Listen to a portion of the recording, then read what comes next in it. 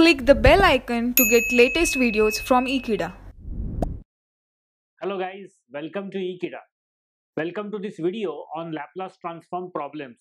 Let us see what problem number 3 is.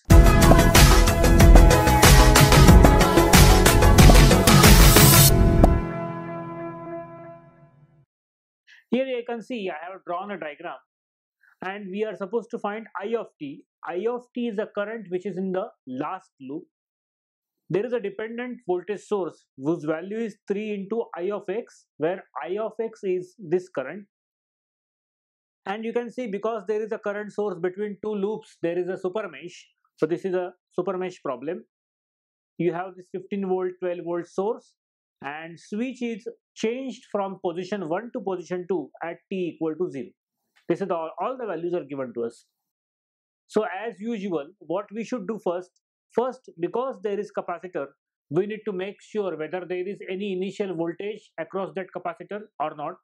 Because finally we have to solve this circuit for that we need to know the voltage.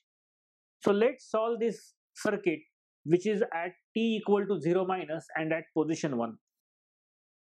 So here I have drawn the diagram and solved also. So at t equal to 0 minus, this circuit is like this. You can see this part is what I have not written. This right part, right hand side part is not written. So this 11 ohm resistance and 3 farads capacitor. Now we are replacing this capacitor with the open circuit. The reason is the circuit is in steady state and capacitor will act as open circuit.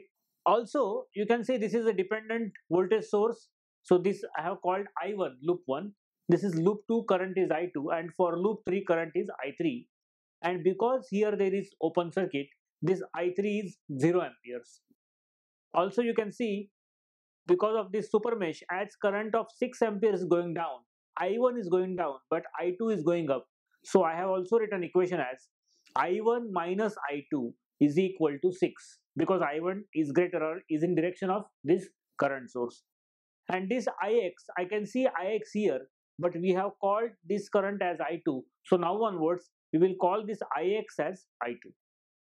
After this equation number 1, we will need, because there are two unknowns, we will need one more equation. So that equation is got or achieved by, you can see this blue line, applying KVL to this super mesh, that is combination of loop 1 and loop 2, it will give me the equation, which is like this.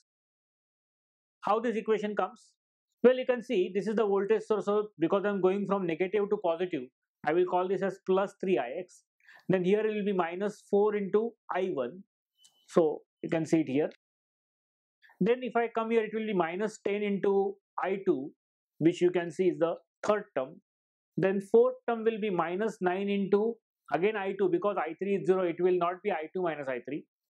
Then if I come downwards here, it will become minus 7 into i2, which I have noted here and then I think there is no term so the loop is completed and when I solve this I get this equation number 2 which is of this form. Now I have equation number 1 as well as I have equation number 2. By solving them I get I1 equal to 5.11 ampere and I2 equal to minus 0.889 amperes. So I1 and I2 are done. Now the question is what is the voltage across this capacitor?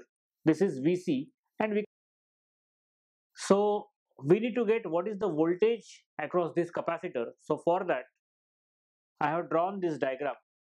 Only this part, only this loop number 3 is what I have drawn separately here. And this is VC of uh, 0 minus. So if I apply KVL again to this loop in clockwise direction, see what we'll get minus 15 then minus 11 into 0 because there is no current i3 is 0 minus 8 into 0 well here also i am going from positive to negative. So i will get minus of vc so you can see it here. Minus 15 then minus 11 into 0 then minus vc of 0 minus. So it is minus vc of 0 minus then minus 8 into 0 and then minus 9 into this. We'll get i3 minus i2 but this i3 is 0 so you can substitute 0 here everything equal to 0 as right hand side is 0 as a rule of KVL and when I rearrange the terms I will keep this 15 and vc of 0 minus. So this 15 and vc of 0 minus has been kept on one side. These two terms are 0 and this is taken on the right hand side so it becomes positive. So plus 9 this minus becomes plus and i3 is 0 so it is minus of i2 though it is minus of i2 itself is minus 0.889 so when i solve it i get equal to 8 and when i solve for vc of 0 minus i get answer equal to minus 23 volts. So that means the initial voltage on capacitor of value 3 farads. Well, let us check the value. Yes it is 3 farads. So it is going to be minus 23 volts.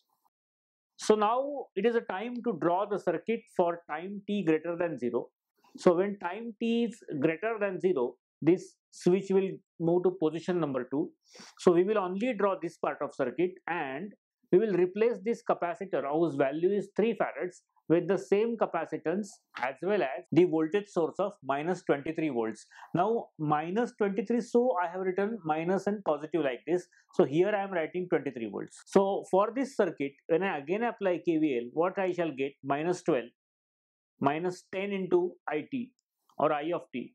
Then again minus 23 then voltage across capacitor will be minus 1 upon 3 integration of it i of t into dt and minus 11 into i of t.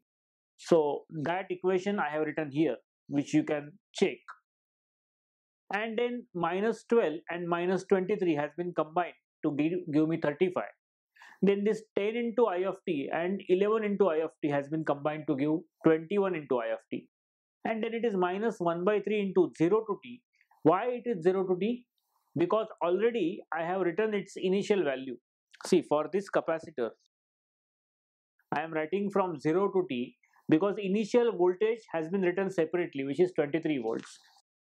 And so this is the equation which I will get. So if I change the sign here plus and plus everything will become plus and 35 goes to right hand side it becomes minus 35. So 21 into i of t plus 1 by 3 and the integration of this term. Now if I apply Laplace transform so this is the equation which we get after applying Laplace transform. So what I will get, I will get 21 into I of S because 21 is the total value of resistance. This 21 is what how I got this 21, 10 and 11 I did. So 21 into I of S plus 1 by 3 integration Laplace transform of this integration will be 1 by S into I of S equal to minus of 35 divided by S.